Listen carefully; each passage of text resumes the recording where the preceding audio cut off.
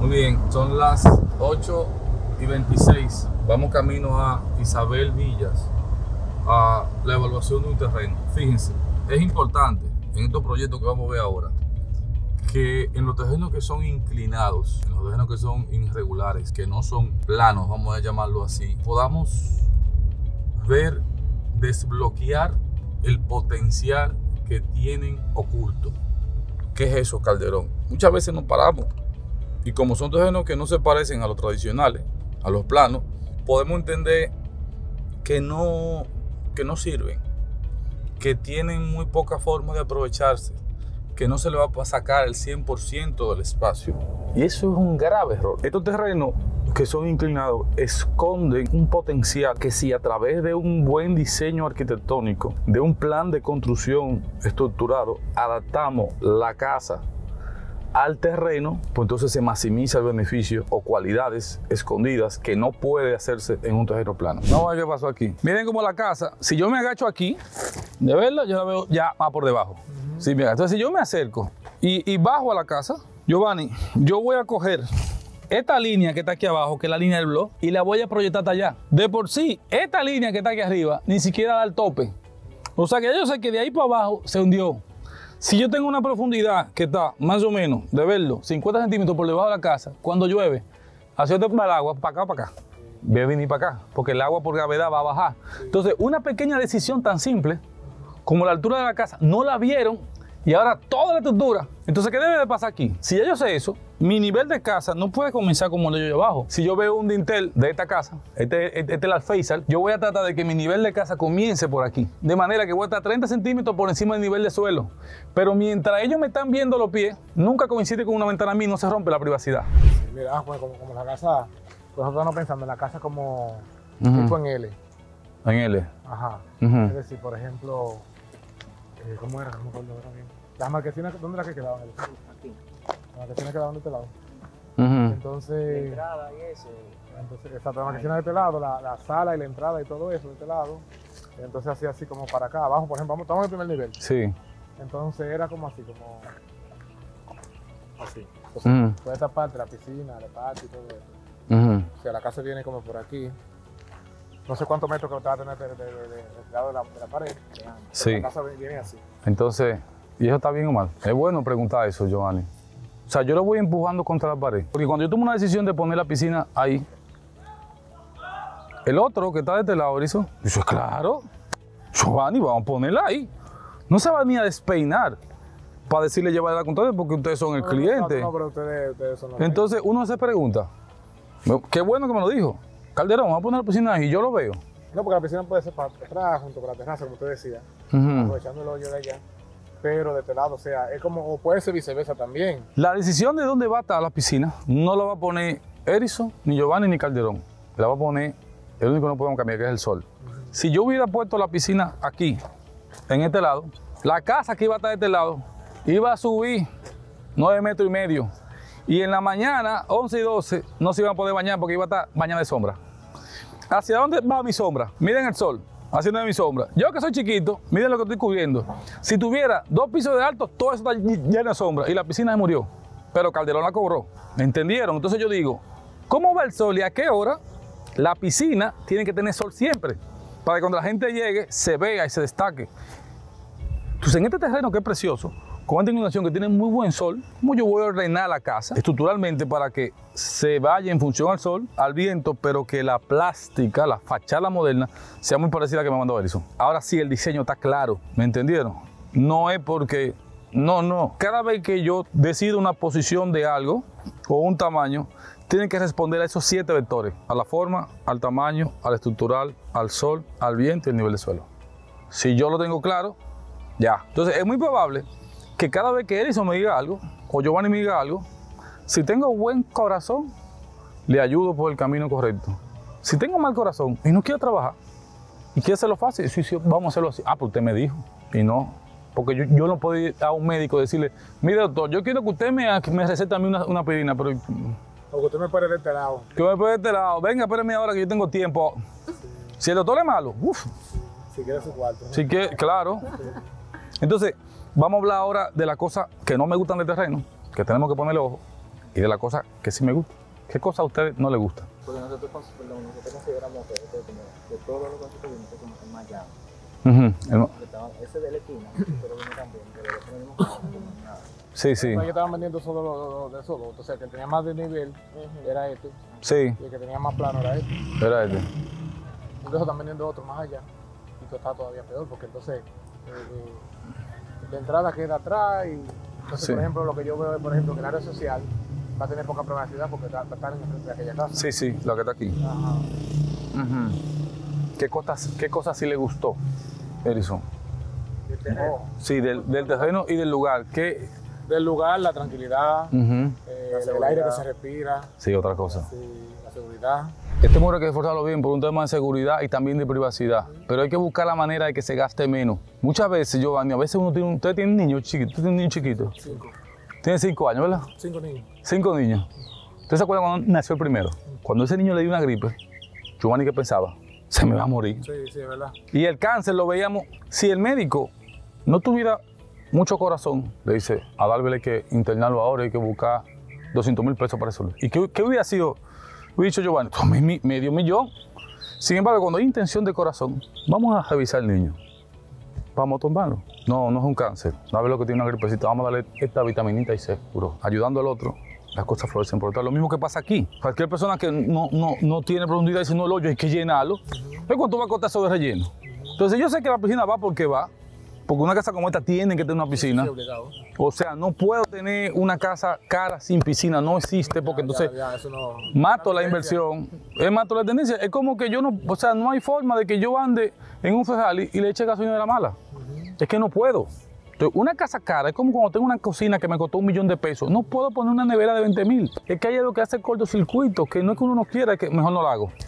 Exacto. Entonces la piscina va o va. Entonces, en la piscina, que es un tema social. El ojo a los que lleguen es ahí. Entonces, ¿cómo yo hago que la piscina, ahí vengo yo, entre a la casa? Nosotros vamos a hacer un análisis de toda la casa que hay en Isabel Villa. Entramos todita, ¿eh? ¿Cómo es la naturaleza de las casas? Entramos a la casa, salimos a la terraza y está la piscina. Ese es el esquema de distribución, ¿ok? Pero ¿por qué yo no puedo entrar a la casa y ya la piscina está dentro de la casa? Ahí se me comienza a hacer un cableado en el circuito. Si yo cojo el Infinity y lo entro a la terraza, integro piscina, jardín y casa en un primer nivel social, la gente llegue, ¡wow! Y me estoy sorprendiendo porque estoy viendo algo que naturalmente no se da en República Dominicana. Quizás se da en Dubái. Entonces, es pensar la casa 2040, aunque la estamos construyendo 2024. Es la misma cantidad de dinero. Entonces, el concepto de tal lo que me da Estamos adelantados al tiempo, exacto. Estado todos los recursos a tiempo. eh, más o menos, ¿qué promedio usted cree que estaría una casa lista? Vamos a poner un ejemplo de esa. Cada losa, cada entrepiso estructural son 28 días. Ahí tenemos tres meses sí o sí en estructura. ¿Ok? Ya luego de la estructura, según la, la artesanía que tenga, por tradición va- vamos a tener un mes a 45 días más. O sea que tenemos que pensar en seis meses. Está bien, no tengo problema. Si no falta material, si no faltan recursos y la artesanía y hay una buena planificación en el plan estructural, seis meses, siete. Ahora, si dentro de los seis meses, siete, pasa algo, Giovanni, separaron recursos, faltó material, vino un COVID, yo X, pero en lo prudente es así. Lo que yo he hecho cuando necesito entregar casas rápido es que facilito el concepto de construcción de la casa. A veces casas que por su idea son, son curvas muy complicadas y lógicamente como salen de los estándares, el tiempo de producción es más lejos. Pero cuando sé que la casa necesita velocidad, aparte de que facilito el proceso estructural, puedo adaptar la casa en etapas para poder trabajar de noche. Ok, ah, ok. ¿Entendido? Entonces a veces uno dice, no, yo la quiero hacer más rápido, entonces vamos a poner dos brigadas, día y noche. Porque el objetivo de Edison Giovanni es ya. El 90% de la casa de Isabel Villa, en el techo, no tienen nada. Como yo el techo, que parece nada, lo convierto en algo único. Si yo analizo la vista que tenemos aquí, y ya cuando subamos, ¿eh? cuatro pisos por nivel, 8 metros, ¿cómo yo puedo, con- convierto el techo en una pequeña cancha de minigolf? ¿Quién tiene minigolf en el techo? Ah, no, Caldeón, no lo tiene nadie. ¿Cuánto cuesta una losa ponerla de grama artificial, acondicionada? Y en la noche, ¿quién? Entonces algo muy barato que quizá a Giovanni Harrison es irrelevante, pero que para un tercero lo puedo preparar para. No quiero decir que lo vayamos a hacer. Es sencillamente como yo es una idea que yo puedo robarme el espacio. O, como el tema de la piscina que entre a la casa, o como el tema de la doble altura. A veces Giovanni me dice, no, Calderón, me gusta la doble altura, como la foto que envía. Me gusta. Pero ¿cómo yo puedo a esa doble altura meter esteroides? Vamos por un ejemplo. Ustedes ven a veces aquí que hay mucha seguridad. Vista hay mucha seguridad. Si yo me duermo en una cama y el techo yo lo puedo abrir como si fuera un cristal y alinearlo a la colocación que ustedes ven allá arriba. ¿Qué es eso allá arriba? Esa es la luna. Y que mi habitación, así mismo como estamos aquí, se vea la piscina y se abra y yo pueda ver la luna durmiendo de noche las estrellas. Quizás no es el gusto de ustedes, y no tienen que hacerlo así, pero lo que quiero ver es la posibilidad de que pueda tener casa para salirse lo tradicional dentro del presupuesto. Para el tema tiempo, lo que necesito es planificación en el cronograma de, obra. Hay partidas, Sergio, que se pueden hacer a la par y hay otras que tengo que esperar terminar el piso 1 para después el piso 2. En la medida que yo puedo hacer un presto, un programa, para poder llevar esa partida a la vez, fuego. Ahora, no me gusta mucho el tema noche, ¿eh? porque por el, el, horario extra va más dinero. No, y también hay que ver si el condominio lo permite. Sí, también. Pero también se juega con eso. Supongamos que el condominio me diga, no, Calderón, no me gusta, me va a decir no la estructura. Pero en esa casa, si por fuera, como está tu vida terminada, por dentro, al paso, de noche, piso, puerta, ventana, pintura, todo lo que no suene. Porque el condominio me va a decir, no, Calderón, hay que la bulla los vecinos, lógico. Entonces, ¿qué yo puedo hacer que no suena? ¿Cuánto suena una brocha de pintura? No, Calderón, no suena. ¿Cuánto suena colocar piso sin cortarlo? No, no suena, Calderón. ¿Cuántos polvos sale cuando yo monto una puerta adentro o un closet? No, no sale. Entonces, todo lo que puedo hacer entonces de noche, por eso el cronograma y trabajamos a la par. Para bajar el tiempo, mejor. Siempre el plan en función a Edison y a Giovanni. Giovanni me dice, Calderón, yo lo que necesito es que la casa se haga bajo este concepto, que se haga rápido, pero que a la vez sea en función de los gustos míos, tomando en consideración el hoyo y la forma que ya tiene. El tema de cuando me paran una obra, normalmente viene por una condición del proyecto en plano. Lo que yo presento al Estado en el plan estructural, Giovanni, tiene ese acorde a los requerimientos de aquí, del ayuntamiento, de obras públicas, de medio ambiente y de la ley de condominio de, aquí de la zona. Entonces, en Isabel Villa tienen sus reglas, pero que esas reglas también tienen, la tiene el Obras Públicas. Si ellos prometen algo en plano y le sellan eso, y después aquí hacemos otra cosa, ¿cómo hacemos, Giovanni? Entonces, ¿qué pasa? Yo no predico eso. Yo lo que digo es, el terreno es suficientemente grande. Tenemos un lote irregular, pero es amplio. ¿De qué manera lo que proyecto a, obras públicas es lo que se va a hacer? Punto. Y no va a haber problema. Vamos a hacer un ejercicio. ¿Qué hora hay? Edison, son como las... Las 9.49. 9.49. Si yo me paro aquí, ¿por dónde viene el sol? A las 9.49. Por aquí atrás. ¿Qué yo hago a las 9.49, Edison? Normalmente, si tuviéramos ya en la casa, ¿qué uno hace entre 8 y 9.49? ¿Qué hace Giovanni? No, ahora estamos desayunados. ¿Verdad? Desayunando. Entonces, ¿qué pasa? Si yo me voy a desayunar, yo necesito que el sol entre a mi habitación en la mañana para que me despierte. Porque si el sol entra en las habitaciones que están de frente a la piscina, pues lo que quiere decir que la parte de adelante de la cocina va a tener sombra. Entonces necesito sombra donde me estoy desayunando como ahora para que el sol no me mate, pero que las casas sean muy iluminadas. Entonces en función a esa orientación del sol que va a girar así, posiblemente, yo voy ordenando las casas de manera que cada ambiente tenga el nivel de sombra a la hora que se usa, Giovanni. Pero antes no pasaba eso. Antes íbamos a desayunar, ¿no? A esta hora y el sol se nos metía, pero hasta allá y yo no me voy a venir un café. O me tengo que ir a la habitación a bebérmelo ¿Me entendió? O, lo mismo pasaba con la habitación. Íbamos a la habitación y estaba eso como un horno. Porque si aquí estamos haciendo un concepto muy abierto, muy acristalado, normalmente tiene que ser en función a la habitación del sol. vamos a hacer un ejercicio. Miren, miren, este, esto es algo muy fácil. Esta ramita, vamos a ver qué pasó aquí. Esta ramita, Edison, ¿qué es lo que está haciendo? ¿Hacia dónde está empujando la brisa? ¿Hacia allá? Ella está como jugada. Yo veo esto para acá, esta que está más suave y también apunta hacia allá. Y yo siento también que el viento viene hacia allá. Si yo sé naturalmente, si yo soy arquitecto, ustedes que no son arquitectos, que el viento viene hacia allá, la lógica me dice que tengo que abrir la ventana hacia dónde. Claro, para que el, viento entre, saque el olor de, la cocina y se lo mande al vecino. Pero si no lo vi y pongo un muro ciego aquí, el olor, el aire va a llegar y va a chocar con un muro. Y la casa va a tener un olor a comida insoportable y la humedad se va a disparar porque sencillamente el viento no entra ni tampoco sale. Entonces, ah, cuando voy a decidir cómo colocar la ventana grande o la doble altura, ya yo la veo. Esta, esta dirección del viento cambia, ¿eh? un 20% en la tarde, ya yo lo sé. Entonces, son pequeñas cositas que, que la tiene el terreno escondida que cuando venimos a la evaluación, digo por aquí, por allí y por acá. Allí, así, así. Cuando venimos a obra, presentamos el plan a obras públicas, nos dan los permisos y arrancan, pero con algo que valga la pena. Que sea una casa que esté dentro del presupuesto, pero que valga la pena. Principalmente en esa dirección. ¿Por qué? Una de las principales condiciones para que la casa sea exitosa es hacer un concepto abierto. Esto yo lo menciono mucho. Se van a dar cuenta ahora, se van a fijar, que el concepto abierto al final, en el profundo, lo que busca es que la casa sea, se perciba más grande. Y la única forma de hacer una percepción más grande o es o uniendo espacios o tratando de que la visual trascienda más allá de las paredes. Mirar más allá de las paredes, necesito evocar esa condición en cada ambiente de la estructura de la residencia. En un terreno plano, por más forma que, por más distribución, por mejor que aprovechemos el terreno, van a haber espacios sala, comedor, cocina, baño, van a haber espacios que van a quedar en la periferia y por su condición van a haber espacios que van a quedar en el centro. Esos espacios que están en el centro van a tener menos paredes que le den la cara a la ciudad y por ende el concepto abierto va a ser 90 grados limitado. Entonces, ¿cómo yo hago?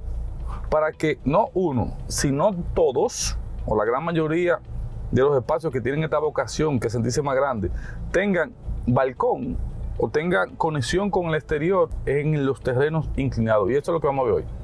Quería hace mucho hablar de este tema porque muchos de nosotros hemos vendido el terreno, esa pendiente, porque pensamos que no sirve. Desde el punto de vista de una persona que no, no tiene mucha experiencia en ese tema, lo puede malinterpretar y no sirve. Y lo vendo barato porque lo estoy poniendo el precio en función a lo que yo entiendo que puede ser. Pero cuando le damos la vuelta y desbloqueamos ese potencial oculto, es lo que pasa y ahí encontramos una gran joya. Muchos de nosotros antes lo que pasaba era que comenzaban a diseñar, comenzaban a, a definir lo que iba a pasar con el dedo en el terreno. Y en los terrenos que son inclinados, no. Ahí la profundidad debe ser mayor. Ahí el conocimiento del arquitecto debe ser más profundo. Ahí la herramienta, los tools que utilicemos deben ser más modernas para realmente poder tener más variables y poder aprovechar. En el sentido estructural, en el sentido arquitectónico, en la razón de ser, en la estética de la estructura, pero principalmente que no nos salgamos de presupuesto. Porque una de las partidas más grandes que tiene una obra es el movimiento de tierra. Y lo más común cuando no tengo mucha profundidad, cuando no tengo mucha planificación, es gastar mucho en movimiento de tierra. Porque los arquitectos son partidas fáciles, donde pueden justificar mucho dinero y no hacen absolutamente nada, incluyéndome, ¿eh? porque esto no va para todos. Entonces, en la medida que yo bajo el movimiento de tierra y bajo la cantidad de acero, el proyecto lo que me está diciendo otra es que tiene un pensamiento más profundo del concepto de diseño en el plan estructural. Y esto beneficia directamente al dueño. Porque se supone que yo tengo que hacer algo en ese terreno, que cuando lo invierta, en vez de quitarle el valor, le subo el valor. Ojo allí, ya sea que, la, que yo haga una casa y la comience siendo mía y después la venda, o que yo haga una, una estructura de apartamento y comience como un, como un negocio y después termine siendo mi casa, independientemente de las dos, es esa la dirección. Entonces, tengo que hacerle una, una aclaración. No existen, no existe dos terrenos irregulares en el mundo que sean iguales no existen dos terrenos iguales en el mundo que sean iguales. La probabilidad es demasiado alta. Es como uno, es como uno encontrar otra persona que se parezca demasiado a mí igual, que tenga el mismo tono de voz, que tenga mi misma edad, es muy difícil, ¿ok? Pero la naturaleza es así. Entonces, a veces el tema es que se pueden tener la misma cantidad de pendientes pueden tener la misma cantidad en terrenos que son paralelos, pero quizá la proporción del tamaño que compramos, la cantidad de tareas o de parcelas, el, ancho y la profundidad son diferentes. Entonces ahí cambia. También puedes cambiar la ubicación, ¿ok? Yo le decía a Juan hace un tiempo, y ahí voy a hacer una anécdota breve. Miren, el miedo es lo que me bloquea, comenzando por mí. ¿Qué es lo que me bloquea el miedo? ¿Por qué? Bueno, hace más o menos 15 años, 16 años, me ofrecieron un terreno cerca del mar allá en Punta Cana, 15, 17 años, estaba muy jovencito todavía, en la universidad. Mi papá me decía, métete, no tenga miedo. Y yo, en ese tiempo, el método era como 15 dólares, creo que estaba, si no me recuerdo, hace muchos años. Y había que buscar, era poquito, había que buscar como 60 mil dólares. El banco me lo dio a prestar, pero yo joven, y sin miedo y sin visión. Lo vi como que inclinado, lo vi vacío, lo vi monte y culebra, como dicen, y no compré. Y mi papá, pero bueno, pasó el tiempo y como son las cosas de la vida, porque Dios todo lo permite en la historia para que uno pueda ver y después tener claridad. Yo en la historia, en estos menesteres, me topé con la persona otra vez que me lo había vendido, que me lo había ofrecido. Y 15, 16 años después, un terreno que costaba 60 mil dólares llegó a costar hoy casi un millón de dólares. Yo perdí ahí prácticamente un millón de dólares solamente por miedo, porque no logré, logré verlo, mi inexperiencia, la falta de cana no me permitió verlo. ¿Y por qué? Porque las condiciones cambiaron al lado de ese terreno, que no había nada en ese tiempo, hicieron un gran hotel. Ese gran hotel quería expandirse. El otro lado de, la otra parcela, porque yo estaba en el medio, también entonces había un debate en quién va a comprar el chiquito y ahí se vendió bastante alto. Entonces, ¿cuál es mi, mi, mi punto aquí? No que uno sea imprudente. No, no, no. No es que uno sea imprudente, que lo primero que vi lo compré. Pero sí, antes de tomar una decisión, antes de decidir, analizar profundamente otros puntos de vista, ver de qué forma yo puedo puedo desbloquear el potencial oculto y yo dame cuenta de una gran importancia, de una gran oportunidad, porque muchas veces no lo vemos. Así como también yo puedo ver 10 terrenos y los 10 son malos y no sirven, porque no hay que una vuelta mágica o, está escrito sobre piedra. No, no, sencillamente es discernimiento. ahora vamos a ver cómo nos va aquí en Isabel Villa, en Santo Domingo, con este terreno eh, irregular, inclinado, y vamos a ver cómo entonces le damos la vuelta. Estamos pendientes.